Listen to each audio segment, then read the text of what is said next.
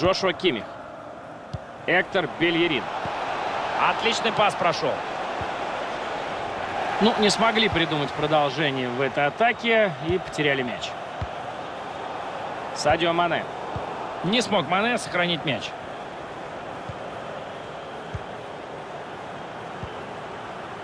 Мбаппе. Нголо Канте. Друзья, вы поворотом-то бить собираетесь или нет? Пасы это, конечно, хорошо, но надо же голы забивать. Тут преимущество у команды, поэтому судья игру не остановил. И что он сделает здесь? Кимих. Мбаппе! Как здорово он голкипера подстраховал тут. Да,